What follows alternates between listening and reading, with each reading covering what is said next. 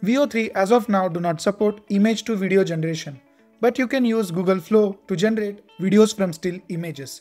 But before that, make sure to Subscribe, Digit Bin. So to get started, head over to Google and search for Google Flow.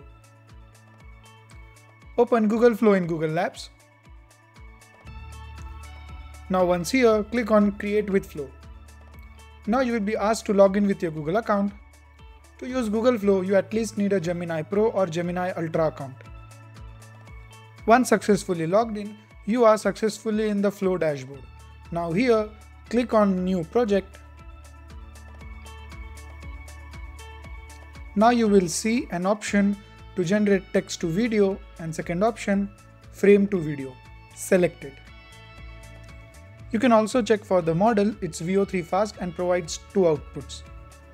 Now just click on the plus icon and upload the image. You can provide two frames, starting frame and ending frame and provide a prompt to generate a video. But I will only provide a starting frame for easy convenience. I will provide this photo of Einstein and Newton sitting under a tree in a garden. Of course, apple tree. Once it's uploaded, head over to Gemini or ChatGPT, upload the image, and command it to create a prompt for you. I will ask the ChatGPT to create a prompt where Einstein comes to Newton and asks him to eat the apple. Now once the prompt is generated, copy it, paste it in Flow, and that's it. Your video from image is generated.